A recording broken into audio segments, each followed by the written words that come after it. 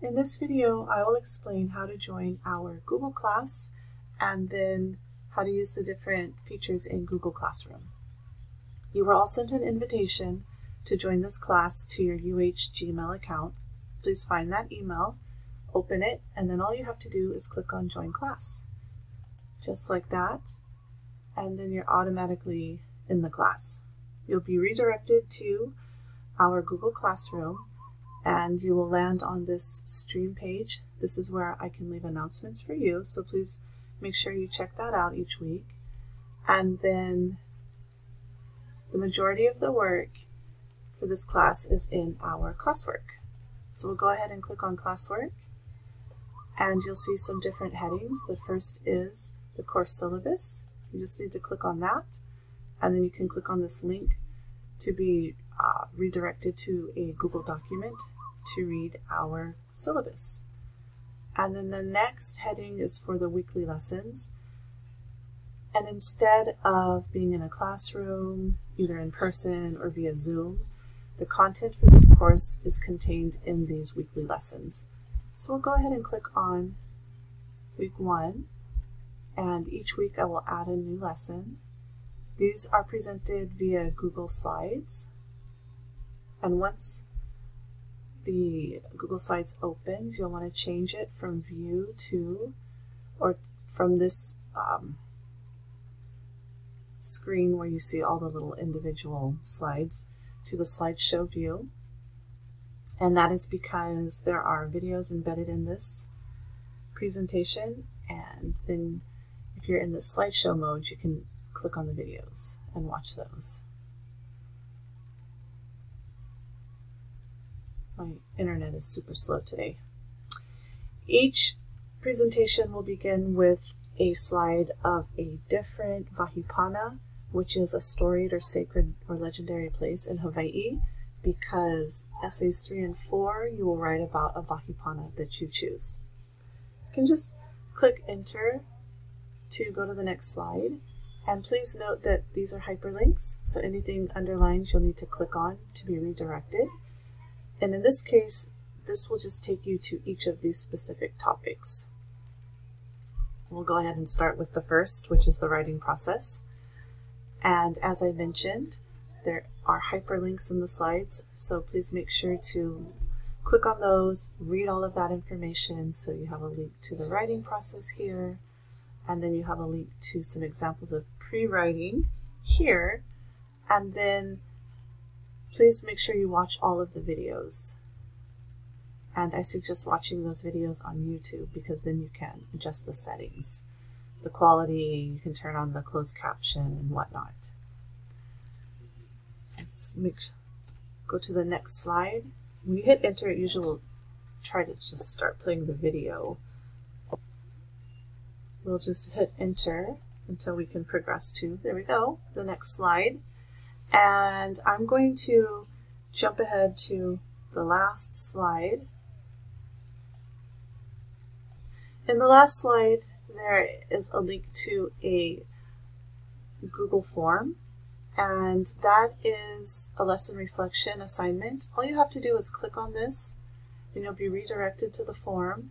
And all you have to do is just fill, answer the questions, are only four sh uh, short questions, and then when you're finished, hit submit and it's really easy. This actually counts as a homework assignment and this will be for each weekly, then there will be a separate Google form for you to answer. So we'll go ahead and close out the slides and go back to, whoops, I did not mean to do that, our classwork page. And the next heading is for assignments. And I want to go back to essay number one. First, let's just look at the Ka'au reflection assignment. And you'll learn more about the Ka'au model in the Google presentation that we were just looking at. So my internet's super slow. When I first clicked on this, the actual assignment didn't load. So if that happens to you, just wait a little bit and the assignment will load. So what you need to do click on the assignment to open it. Once you do that, your own copy is made. So you can type directly on the assignment. And when you're finished, super slow on my internet today. You, oops, get rid of this. So when you're finished with the assignment, you can click on this turn in little uh, button and that will submit the assignment for you and that's all you have to do. So you can leave a comment for me if you choose to do so. You don't have to do that.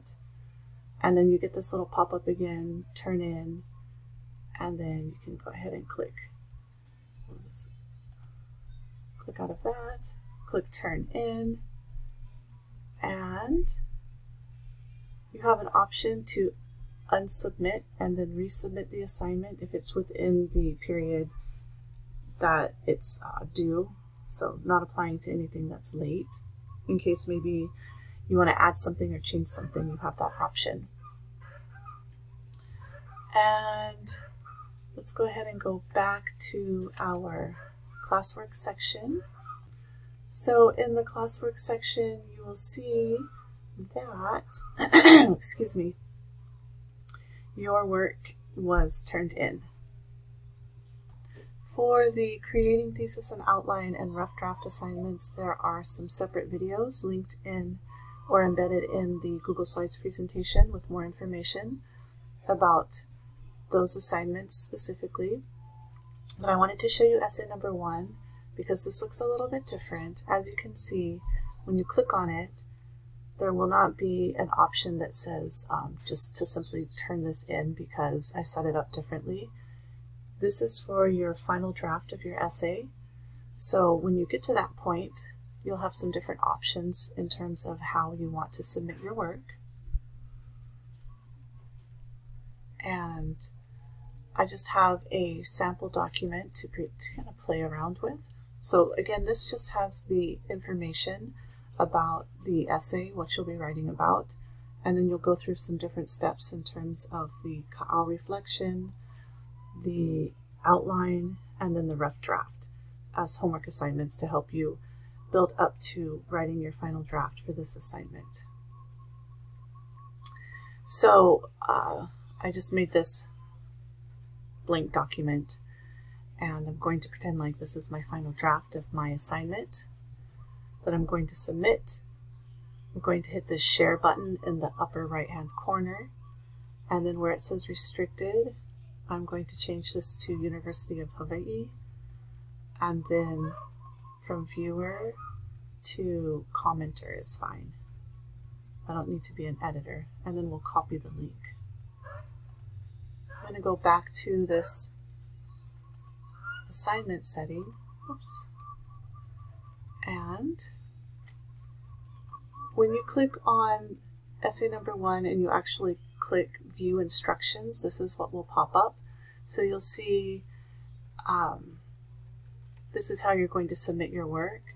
So just to note too, originality report available. I'm using this instead of Turnitin DOM as a plagiarism and AI detector, but we'll talk more about that later.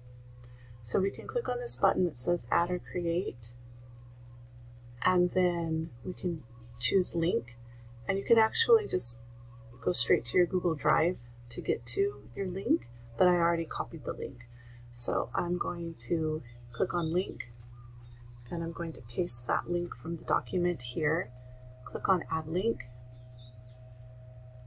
and then I will go ahead and mark as done and your work has been submitted. Back in the classwork section, you'll see that it says for essay number one that it was turned in. So, turning in the homework assignments is pretty easy. Hopefully it won't pose any challenges for you, but if you have any questions or you need some help going through this process, I'm happy to meet with you and we can do it together. And then I also wanted to point out, this is the reflection that's linked to the Google slide that I mentioned previously. So if we just look at view instructions, you'll have a link to that Google form. So there are two places where you can find this. And then for each week, you will have a discussion activity. We can go ahead and click on that and look at view instructions. And then you'll see that you will be redirected to this page that says flip and this is where you will have your weekly discussions. And I forgot to mention that you can go ahead and mark as done after you finish this. But you don't have to submit anything. You just need to go to flip and then record your video and I will access that part of the assignment here. So I'm also going to send an invitation for all of you to join our flip class. Your instructions are to record yourself, so you'll introduce yourself. What um, name do you want to be? Do you want us to use in this class for yourself if it's other than what's on the class roster? Your preferred pronouns, and then what is your HUA? Why are you at Hawaii ECC? If you're at another college or campus, that's fine, but basically, why are you attending college? What's your purpose or your reason?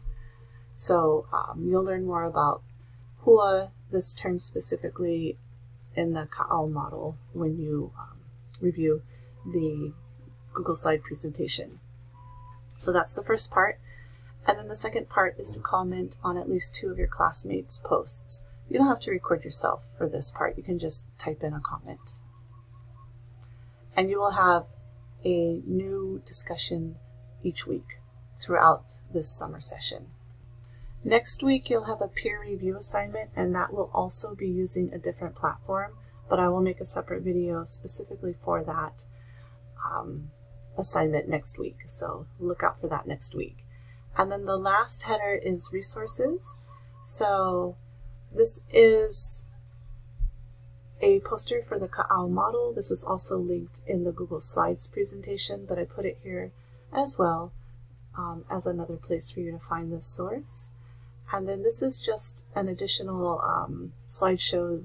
It's not mandatory that you watch this, but if you want some um, more information about revising and editing your own work, then um, feel free to check this out.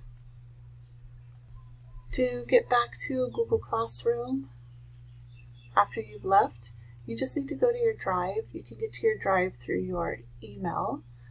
I already have my drive open here. So once you're in your drive, you can just go to the apps and look for Classroom. There are other ways to find Classroom as well. Um, and then jump back to our class. I'll make a separate video talking about how to organize your work in Google Drive, just as a resource in case some of you are unfamiliar with using Google Drive. The last uh, piece I wanted to show you is that after you start turning in your assignments, you can go to this very top section that says view your work and it will show, use my husband's email to set up a student account. Um, it'll show what's been assigned, what you've turned in. Once points have been awarded, you'll see the points that you received for these assignments. And then up here we'll have your total grade, your cumulative or overall grade. So you can keep track of your grade throughout this um, summer course. I know there's a lot of information. Um, please click around, play around with the different features in Google Classroom. And if you have any questions at all, please email me. I'll do my best to get back to you as soon as I can to make sure that you're on track and everything goes smoothly this semester. Mahalo.